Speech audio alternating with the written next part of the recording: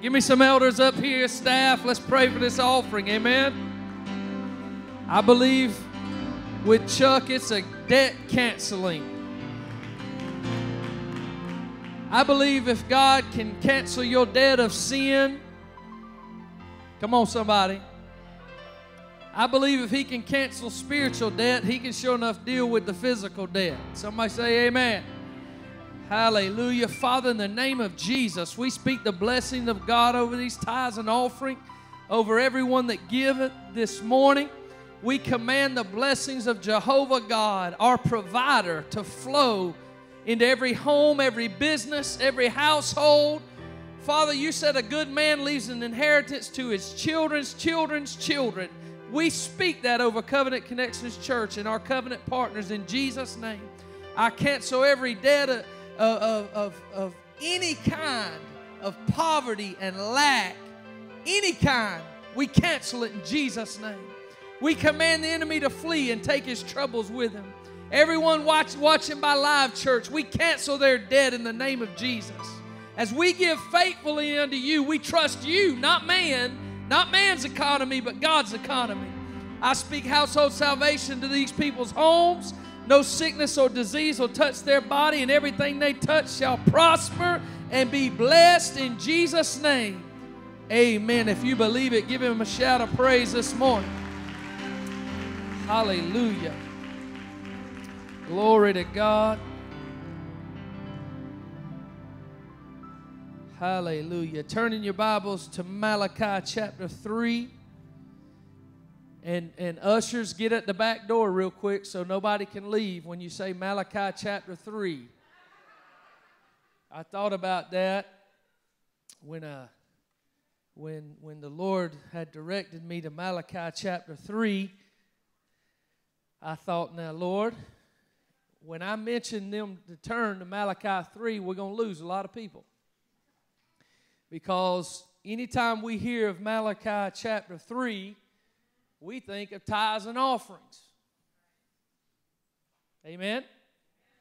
Very familiar passage of Scripture where it talks about God rebuking the children of Israel. At this time, the children of Israel were in exile. They were away from their homes, their families. They were in slavery and poor and broke. They were in exile. The reason they were in exile is because their forefathers turned their backs on Jehovah God, began to serve other gods, stopped doing what they were supposed to be doing. You know, I heard a man one time, it, it really made me mad. I was watching this live stream deal, and uh, it was, well, I mean, I'll go ahead and tell you. It was when uh, Mark, who's our the president uh, or the uh, whatever you call it, I don't even know what you call it. There you go. Covenant Life School of Ministry, our Bible college here. He's the, the dean over that and runs that. He had a debate with an atheist guy. And the question was something to the effect that if there's not a God, but if there was a God, and you stood before God and didn't believe in Him, and matter of fact, this guy used to be a Baptist preacher, and he, you turned his back on God and all this. And the question was when you stand before God, if there was a God, and you stood before Him, what would you say to it? And he went on and on about how he would say, if you're a loving God, you know, I lived more moral than most Christians. I did more for the community than most Christians. I did this and I did that. And so, if you're a loving God and a forgiving God, then you've got to love me and forgive me and see that I live better than most people and let me in. And the crowd goes wild. And I'm sitting there in my living room shaking, I'm so mad. Because I thought to myself, here's a grown man that's leading thousands of people out of the church to not believe in a God anymore. And the excuse that he used sound like my eight-year-old daughter, who if I tell her, don't go play in the street, don't do drugs, don't drink alcohol, that she would come to me after playing in the street, doing drugs and drinking alcohol, and saying, But Daddy, I did it better than most.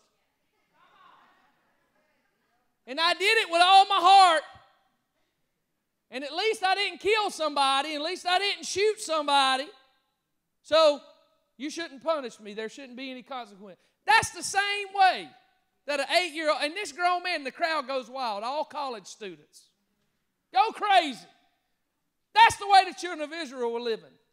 They separated themselves from the things of God, the traditions that God had put in place, and then they were in exile. We know this scripture because God's calling them back to Him.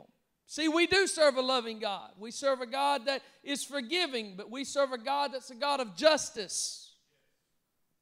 Somebody say justice. He has to be just. Somebody say amen.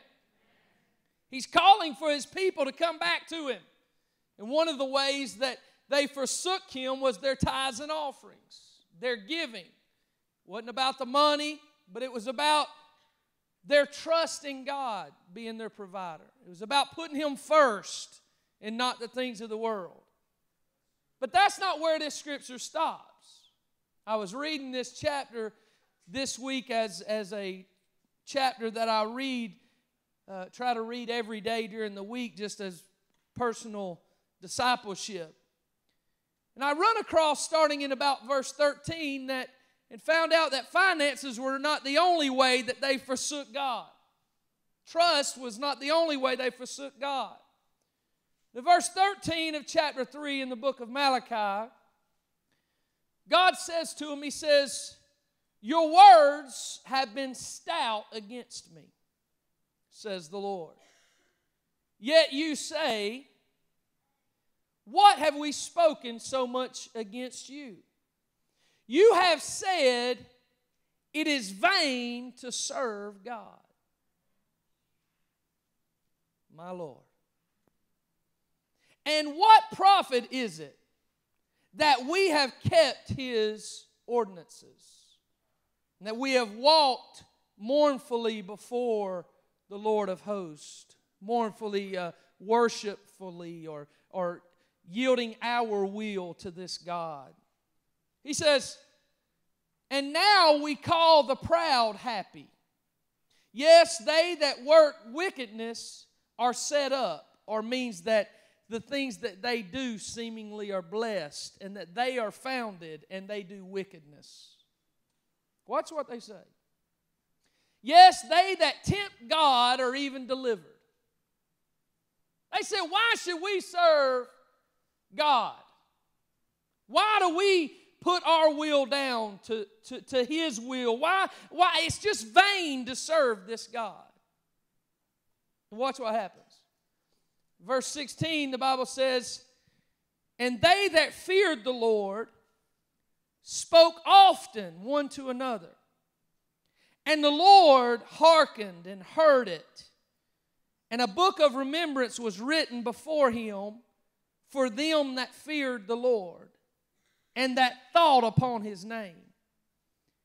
And they shall be mine, says the Lord of hosts, in that day when I make up my jewels, and I will spare them as man spares his own son that serves him. Then shall you return. Mm-hmm. Then shall you return and discern between the righteous and the wicked, between him that serveth God and him that serveth not. This is not right here. Well, eh, boy, I got so much for you, I just can't get ahead of myself. I, I want to speak from the subject this morning. Is your name in the book? Father, we bless you. Whoo, hallelujah. We thank you for your presence. Thank you for your spirit. Thank you for your word. Set your people free. Use me this morning to speak to those that are in our church, that are watching by live church this morning, and those that will be watching by television. Father, I ask you to use me as your servant. Use me today as your mouthpiece in Jesus' name. Somebody say amen.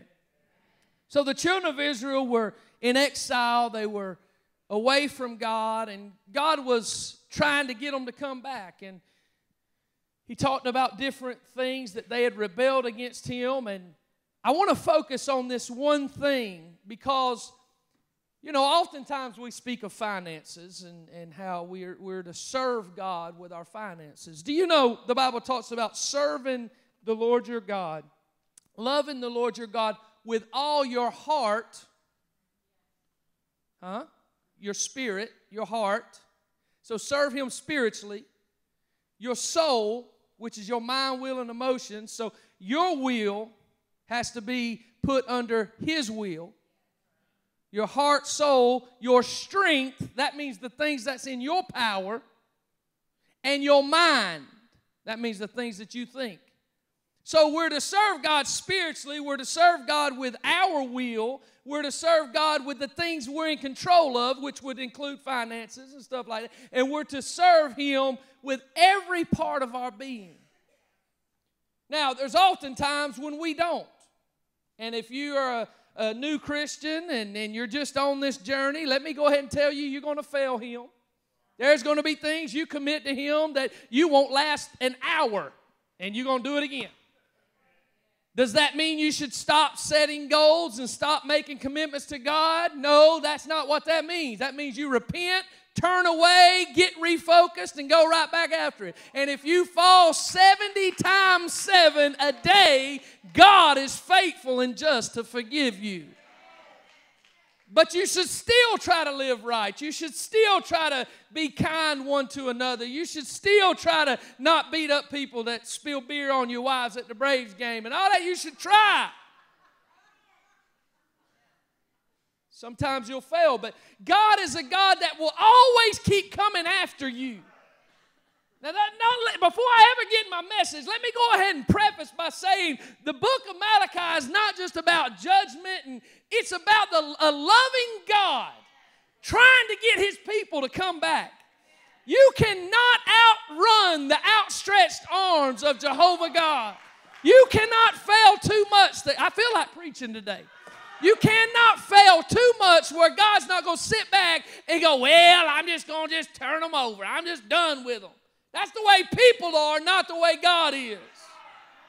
He is faithful and just to come find you. And that's what he's trying to do in Malachi. He's trying to use the prophet to call the people back. So, as I preach to you this morning, I feel like a prophet coming to you. Don't get mad at me. Just hear what I'm saying. God's trying to call covenant connections up to a closer relationship with Him. Somebody say amen. So he's calling them back, and he, he calls them back in different ways. And then he looks at them to, to, to bring this book to a close. He looks at them and he says, You know, some of y'all have been faithful in different things that I mentioned, but some of you have been harsh with your words, stout with your words against me. And they said, Well, what have we said against you? See, sometimes we th- say things in our heart and we don't think God hears us. The Bible says He understands your thoughts afar off. He said, Your words have been stout against me. Well, what have we said? He said, Number one, you said it's vain to serve God. Wonder how many of us, just in the last few weeks, have thought in our minds, What good is it for me to serve God? I've been going to church once a month. I read my Bible last Tuesday. Y'all ain't going to say nothing. I prayed over my breakfast. What? And it ain't doing me no good. Now, what about those that you, you're in church, you're in ministry, you, you're reading your words, you're praying, you spend time with God, you, you, you're involved in ministry, and it seems like it still isn't working for you? Boy, I heard crickets. Got awful quiet when you preach to Christian folks. I've learned that sinners will amen you before Christians when you really get down where they at. Maybe I'm the only one then. Let me just bring it to me. Forget y'all. I'm the only one. Let me just tell you this life of David. Sometimes I do everything I can do, believe God, speak those things that be not as though they are, quote scripture and quote preachers and prophesied and spend time with God and, and just know that this is going to happen and it doesn't.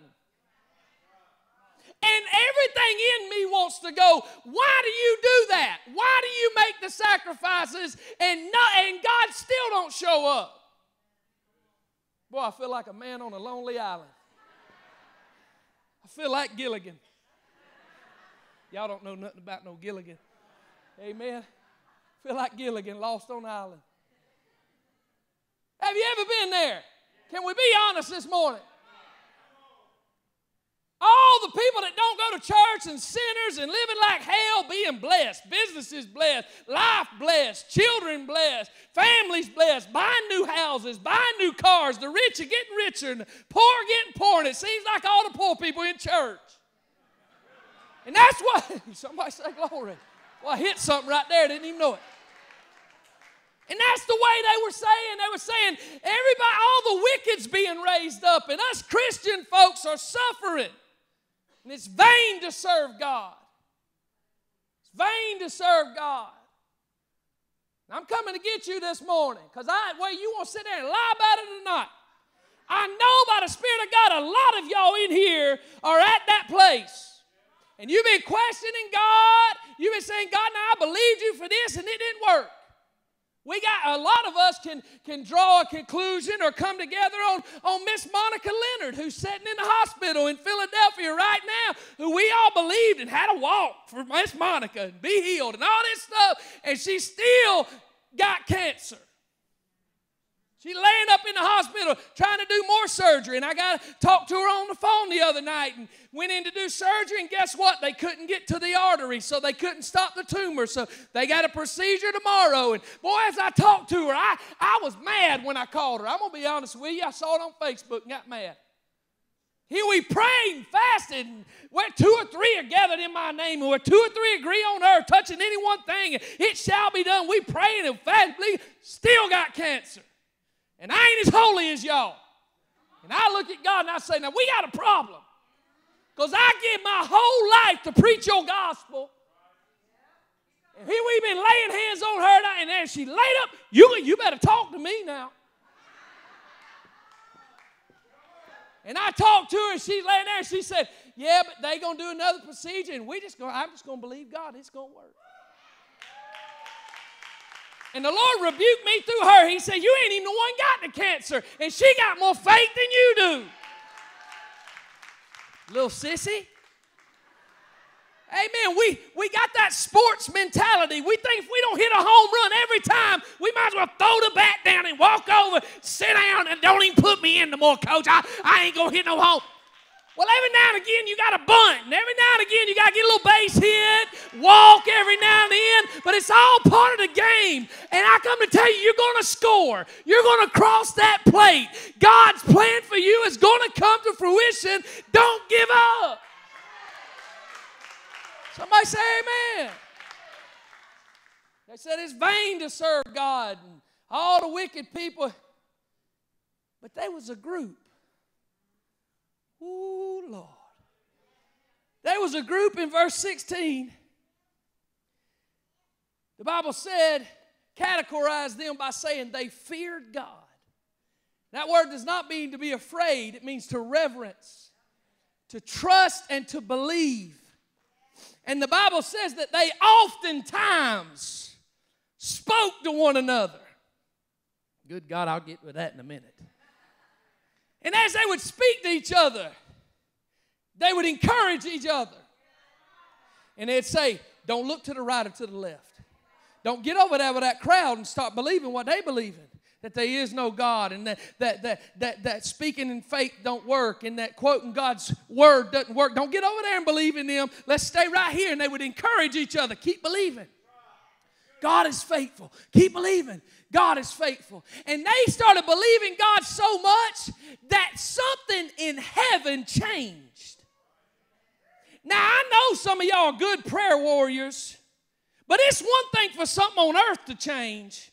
But it's a whole nother ballgame when you get so in God's face that things in heaven begin to change.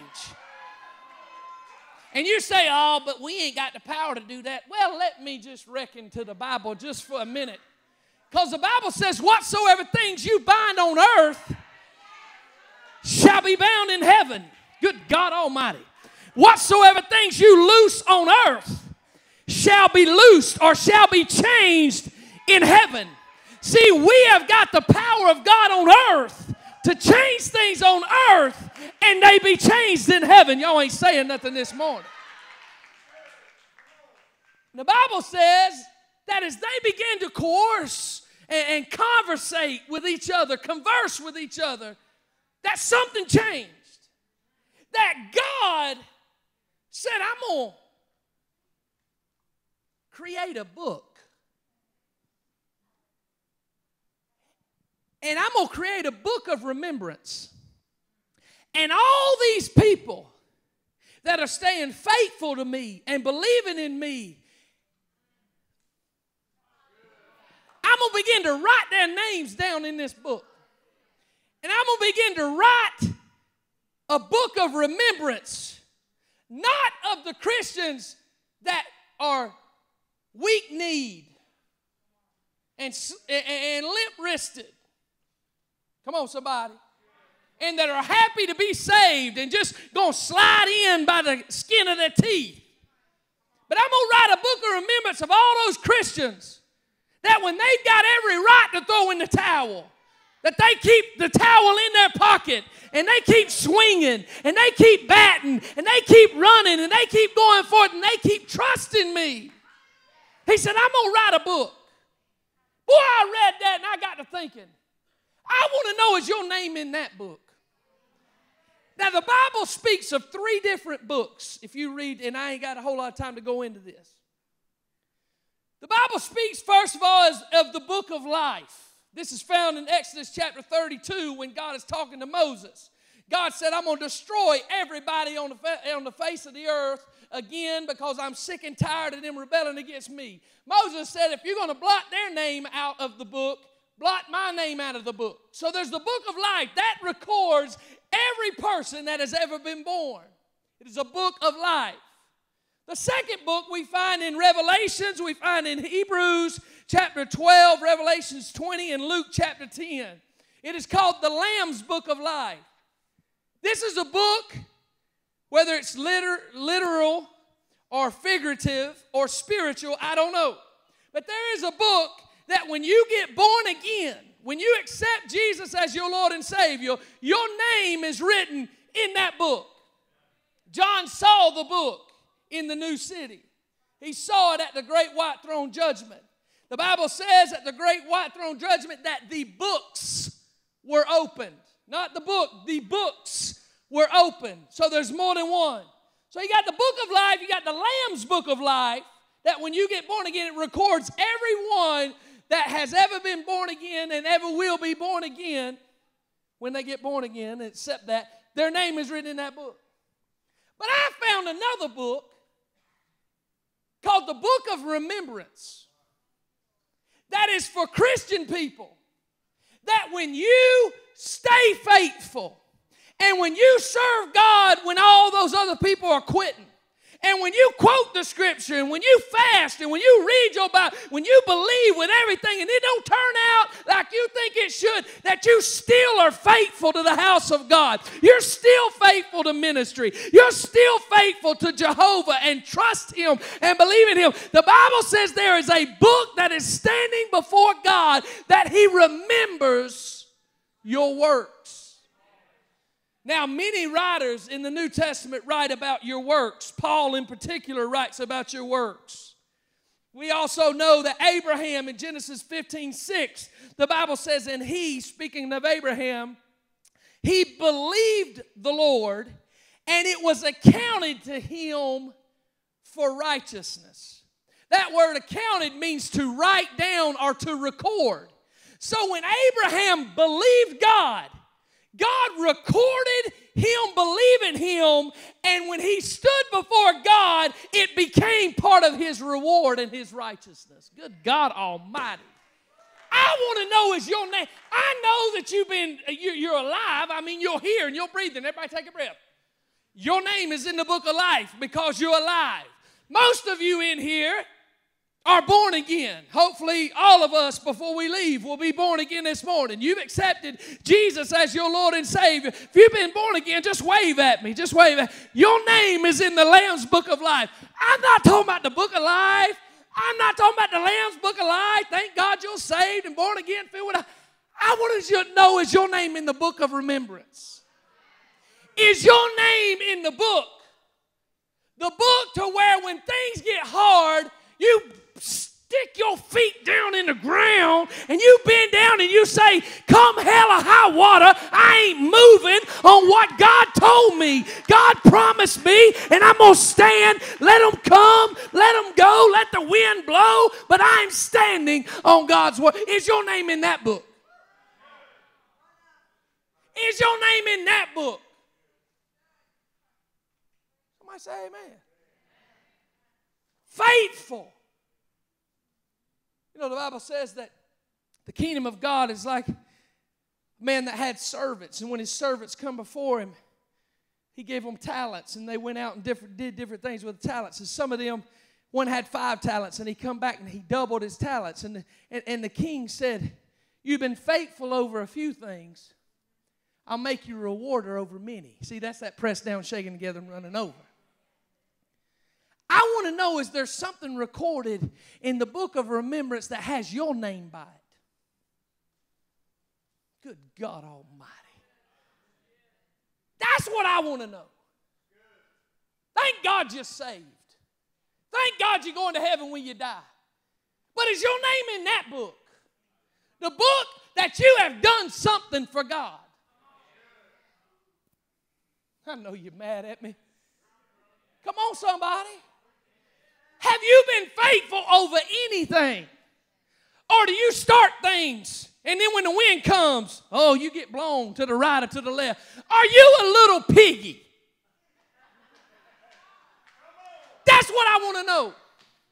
Are you a little piggy that has built your house out of stubble? And when the big bad wolf comes and he huffs and puffs, has he blown your little old piggy house down? That's what I want to know because that's the way most Christians are. Are you that little piggy that has built your house out of rock, out of stone?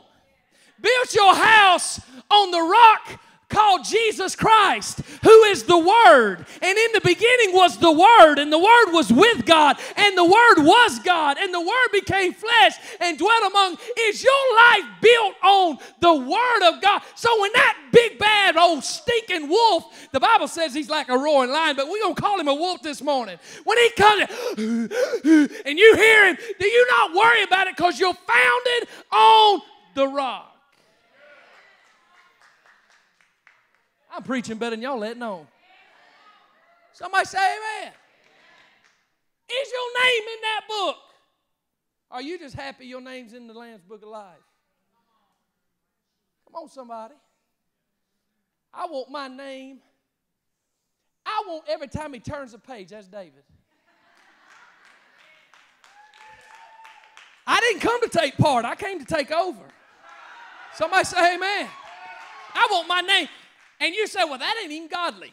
Tell Obed Edom that it ain't godly. Because you remember when Solomon was building his temple and he was needing some ushers, guess who signed up for it? Obed Edom. And when he was needing musicians, guess whose name you find listed on there? Obed Edom. And when he was needing some people to work outside the gates and the courts, guess whose name you found on the on the on the list of, of I will do it? Obed Edom. He was on every list that you find when Solomon is building his temple. I want to be out through all the books. I want to be so much in that book that when God, I may be standing by God when you come to God. I might, I might be standing by. Because my name in that book so many times. He said, "Hey, look, Big D, is Mike House in there anywhere? I said, God, I ain't got to look at the book. His name's in there. Good God Almighty. Big D. How about old Joyce Swanger? Is her name in that book? I ain't even got to look in the book. Because I remember when Joyce Swanger was diagnosed with cancer, terminal cancer, some 10, 12 years ago. And they gave her weeks and just a few months to live. And I remember Joyce Swanger got, got right with God found the word of God where He says that I'm your healer, and by His stripes we are healed. And she hunkered down to that word, and she believed the report of God. Next thing you know, she got around people that believed the report of God, and all of a sudden she stands here some 12, 13 years later, healed, healed, healed, healed by the power of God. I ain't even got to look in the book. I can say, yeah, her name's in the book. Y'all don't want to say nothing to me, but I feel like preaching up in here this morning. Big D, how about Big Jamie? Is Jamie's name in that book? I ain't even got to look in the book. Because I was there when Jamie broke his back in three places. I wasn't actually there, but I was in his life at that time. Wrestling, thought he was some big man. Told him he was getting old. He was like 30 something. I mean, that ain't old, but you don't need to be out there wrestling. Thought he was wrestling number two with somebody broke his back in three places, had no Medicare, had no insurance, and for over a year couldn't even go to a doctor to get some Advil some pain medication with his back broken three spots. every time I'd call him, he'd say, But I'm believing God to heal me. Still, today, has got a broken back. Doctors wanted to do surgery, said, If you move the wrong way, you'll be paralyzed from your waist down. Still broke. Talked to him the other day. He said, Here's what the doctor said, but I'm believing God. I ain't even got to look at the book. Big D, is his name in the book? Yeah, Lord, his name's in the book because he stayed faithful to what you told him. And in the midst of pain, he believed you. And in the midst of struggle, he trusted. I ain't even got to look at the book because I know his name is in the book because he was faithful to you. Good God, I might be the book reader of heaven. Come on, somebody. Woo!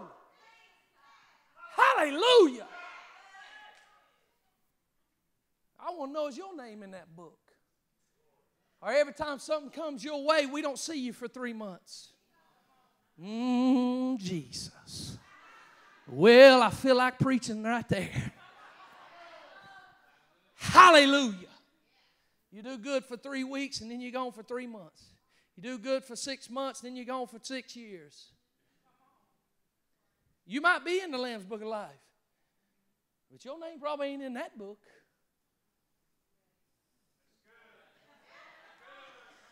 I get nervous, my head starts itching in the back.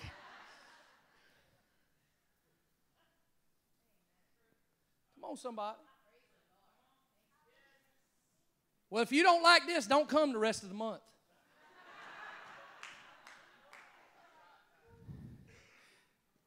Because starting, you shut your mouth. You starting the, the week after next, next week, everybody raise your hand. Everybody with your hand raised, you're committing to God to be here next week. There ain't nothing that gimps me up more than getting a guest speaker to come and people lay out. You know what I'm saying? You should lay out two times when I preach to come to the one time we bring somebody in. You know what I'm saying? Be here and be faithful. I don't want to come walking in the back door with Brother Dudley. I mean, anybody with the name Dudley, you got to want to come here preach. That's a preacher name. Me and Dudley come walking in, there's 12 people. Come on, somebody, be here, be faithful. That was my little commercial. But I'm gonna, I, I got a mandate from God to teach you how to get your name in that book right there. There are certain things you got to do and not do that will determine if you're gonna if you're gonna endure to the end.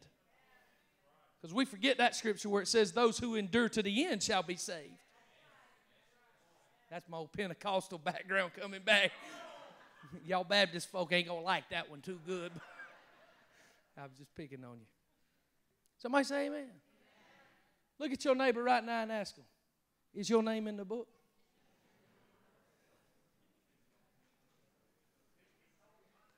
Yeah, I told you, but I've been known to lie. So you.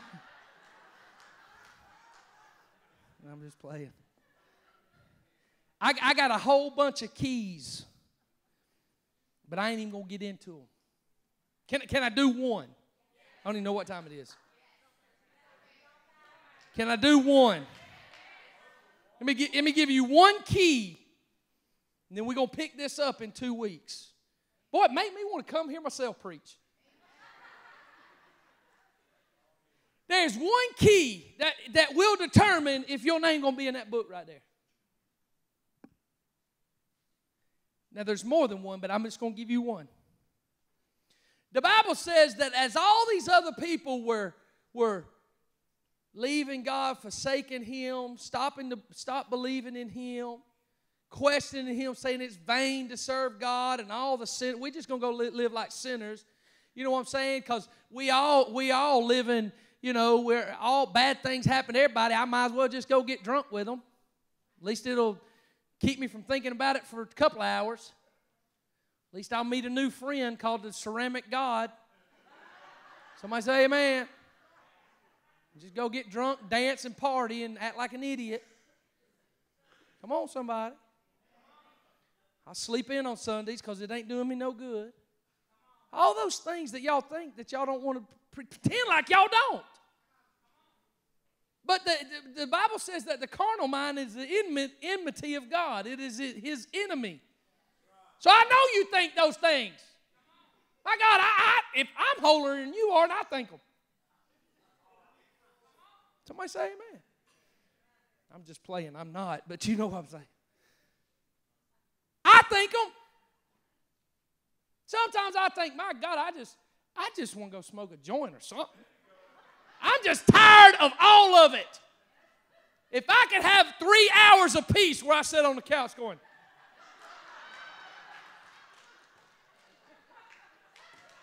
and Stephanie get on to me because I hadn't trimmed the bushes. I just look at her and go,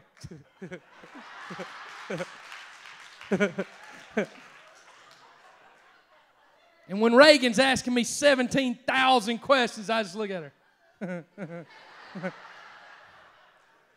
Baby, go get me some tater chips or something. Could you get me a cracker?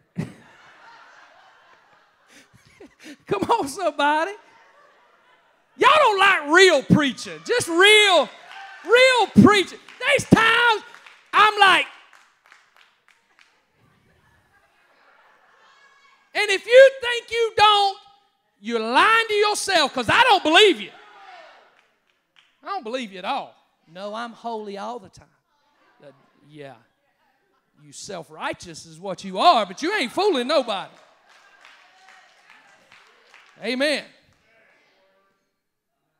I'm telling you, we all think that. The, the, the, the issue is you can't allow those thoughts to become actions. You want to quit all you want as long as you don't. You want to act like an idiot all you want, as long as you don't. And then you bring that thought back into captivity and say, No, I ain't going to smoke a joint. I believe I'm going to pray in the Holy Ghost for about 30 minutes.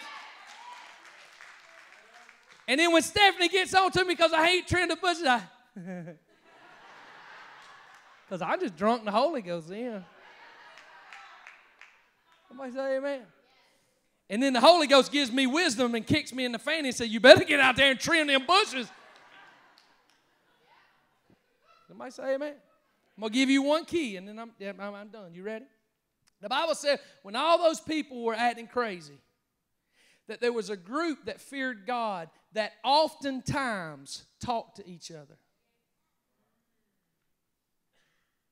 If you want your name in that book, you have to have godly influences in your life. You got to have friends that you can sit down See, now I got friends and I got I got people in my life, and and and and if you're if you're holier than everybody in your life, you got problems. Do you understand what I'm saying? I got some people in my life that pray more than I do. And when when I, when my prayer life starts getting where it don't need to be, or my life of prayer, my communication with God, I get around them jokers. Because they'll start saying, My God, I prayed for an hour and a half today. And I'm like, Oh, God, heaven. Jesus. I think I prayed when I was in the shower about five minutes. But I get around them and then I get hungry. Next thing you know, the next morning I done got up early praying. Because iron sharpens iron. You understand what I'm saying? You, you understand what I'm saying? If, if I'm dealing with my thought life, I'll get around people who have strong, strong thought life. Boy, that'll leak over into me and it'll encourage me. If my faith is low, I'll call up somebody that's faith, faith, faith. Why? I don't want to call up somebody that's on the same page with me. I got to get into get get somebody around me that's higher than me that can pull me up to where they are. Somebody say amen. Now we don't get this kind of preaching. Because we think the preacher got it all going on. Somebody say amen. Well, I'm up here about an hour a week. That means however many hours I'm down there with y'all. But I, I got wisdom. I, I, I, if I am, if my faith is weary, I won't go get I won't go get around some of my friends because I know that they don't have faith and they gonna just get right in that bandwagon with me. Next thing you know, we gonna it ain't gonna be pretty.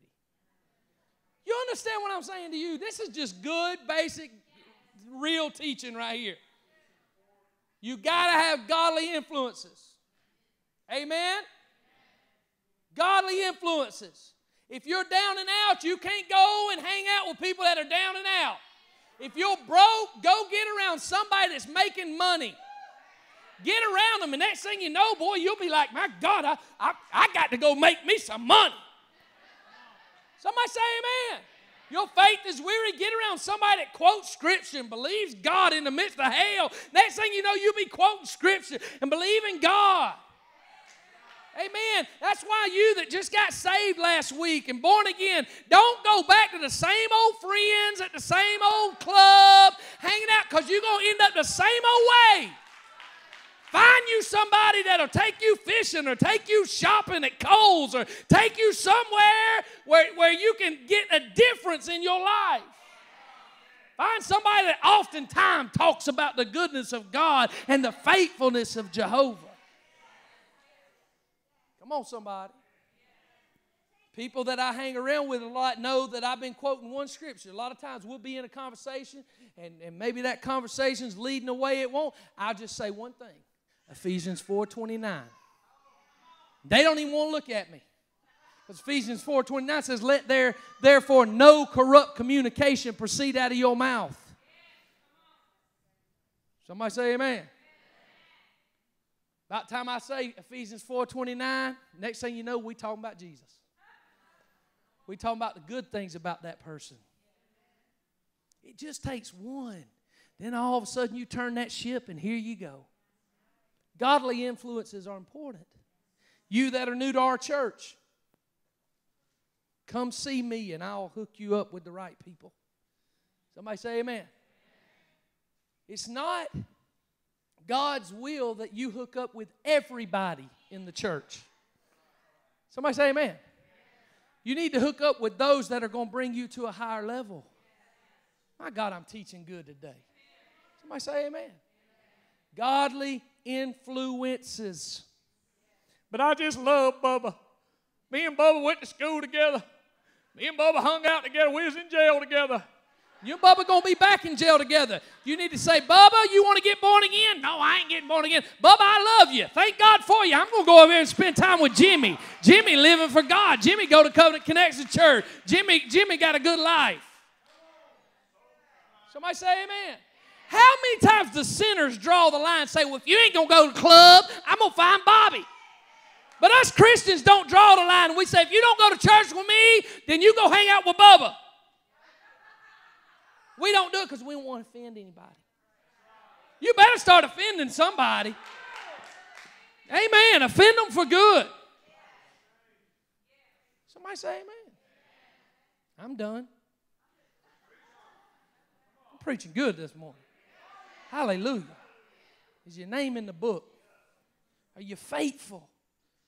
Faithfulness don't come on the mountaintop. Faithfulness comes in the valley.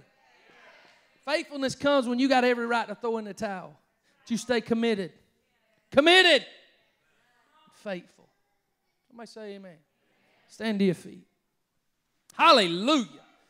My God, I feel like I could take on hell with a water pistol this morning. Somebody say amen. Glory. You know what? When they told me about that Lamb's Book of Life, I wanted my name in that book. I want to be born again. When I stand before God, and He say, "Your name's there because you accepted my Son Jesus. You live for Him, and He was your Lord and your Savior." I wanted my name in that book. Boy, all week since God gave me that revelation right there, all week, hallelujah, I've been trying to get my name in that book. I'm telling you, get some goals about your life. Don't let anything stop you from them goals. Jesus told his disciples, Get on the ship. We're going to the other side, the land of Gadarene. He said, I'm going to meet you. He went to pray.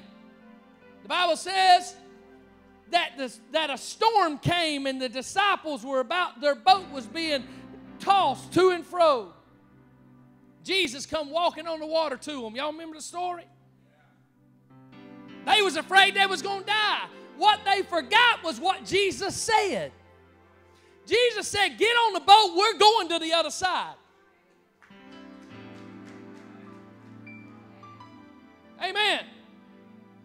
All they had to know is, well, this is just a storm. It may look bad, it may look concerning, but Jesus said, We're going to the other side. I may float in on a piece of wood, but I'm getting over there to the other side. Somebody say, Amen. God has spoke some things to your life. He's made some promises to you about your life. You know what the Bible says when, when, when, when Peter was being, being took to go to court, and, and you know that for 14 days they were in that tsunami. I preached this one time. The Bible says that they come floating in on broken pieces. Good God, I feel like preaching again. I don't care if I come in on a piece of log. It's all about how you make it. You may drive up in a Lamborghini, and here I come on a longboard. Y'all know them things them jokers be getting now. I may come in, but don't laugh at me because my longboard, because I got to the same place you got. Come on, somebody. Ain't about how you get there, it's just about getting there. Somebody say amen.